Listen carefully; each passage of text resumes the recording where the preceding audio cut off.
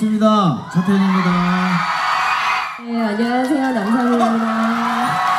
일단 만나서 반갑습니다. 배우 김가연입니다. 영화하면서는 처음인 것 같아요.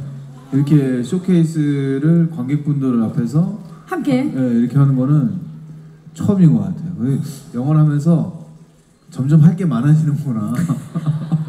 개봉, 네. 야 개봉하기가 정말 힘들구나. 개봉 전에 할 게 점점 많아지는 거야. 일단 봉수미라는 친구는 굉장히 자유로운 영혼을 갖고 자기의 진취적인 삶을 이렇게 만들어 나가는 인물이고요.